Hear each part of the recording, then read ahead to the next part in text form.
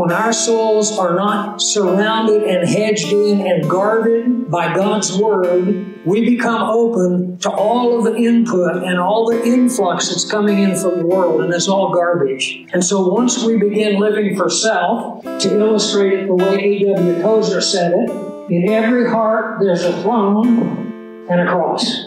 And every day you and I make a decision which of those we're going to take. When people start choosing to sit on the throne of their life, the end result is what the author of Hebrews calls crucifying the Son of God afresh. You're basically putting Christ on the cross. What was it that Jesus said in Luke 9 23? If any man will come after me, let him deny himself, step one, take up his cross, step two, and follow after. Well, what's the alternative to taking up the cross and following after? Sitting on the throne and saying, I'm going to run my life my way. And that's the basic motivation of the unbeliever.